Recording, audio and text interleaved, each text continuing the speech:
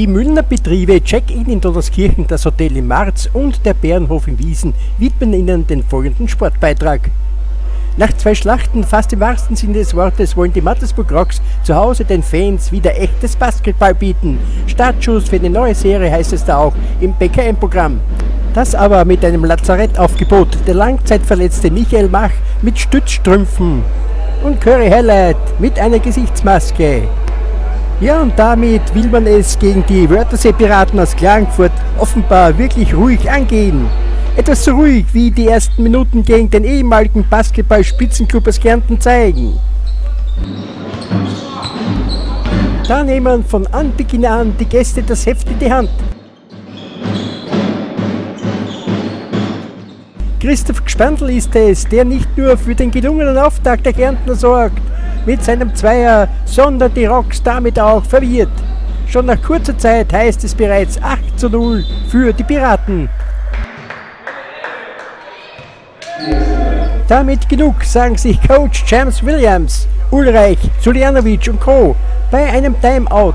Und Rami Suljanovic ist es dann auch, der für Deutlichkeit und den Unterschied zwischen seinen Titelanwärtern und dem Tabellenletzten sorgt.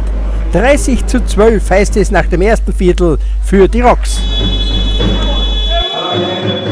Ab dem Ende des ersten Viertels und dem Beginn des zweiten wirken die jungen Piraten eher als Galeerensträflinge auf zu hoher See, sprich zweite Basketball-Bundesliga. Rames Soljanovic, der wieder genesene Michael Bach, Kapitän Stefan Ulreich, diesmal mit der ungewohnten 17 auf dem Rücken und nicht mit seiner Stammnummer 11, sowie Christian Back, Benji Czukwa und nicht zuletzt Jan Nicoli spielen die Kärntner an die Wand. Allerdings haben die Gspandels auch Wurfpech, wie man sieht.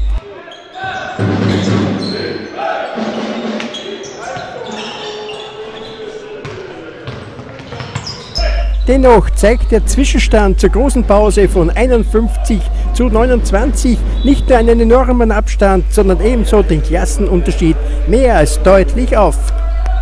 Eigentlich könnte man mit dieser Zusammenfassung bereits aufhören, aber es ist so schön, schönes Basketball zu sehen. Korb um Korb, Punkt um Punkt, Zweier, Dreier und Freiwürfe und Offensiv-Rebounds sind nun an der Tagesordnung.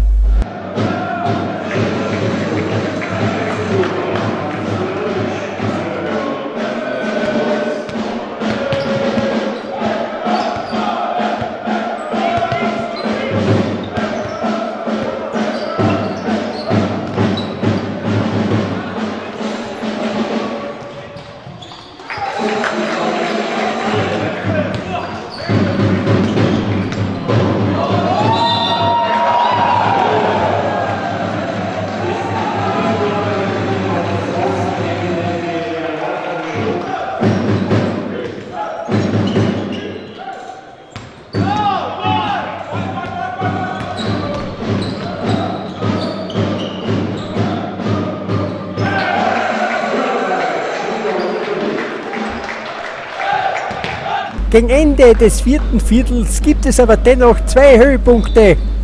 Der Hunderter muss gleich fallen. Ja, und er fällt in den Korb, wie Sie sehen. Dieser Zwischenstand ist balsam für die treuen Fans der Rocks. Ja, und Höhepunkt Nummer 2 kommt von der Bank. Der junge Fabian Paremba mit der 32 darf ran und beweist dabei sein Talent, nützt die Gunst der Stunde oder der Minute.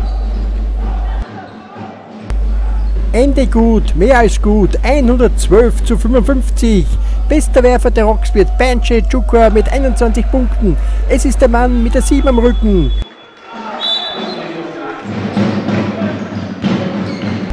Und der Mann mit der 14 ist Michael Mach mit einem tollen Comeback nach seiner fast einjährigen Verletzungspause.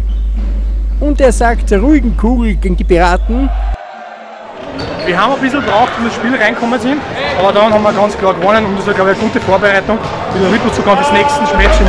Ein tolles Comeback. Ja, es hat sehr lange gedauert, aber die Burschen haben mich sehr unterstützt und sehr froh, wieder spielen zu können.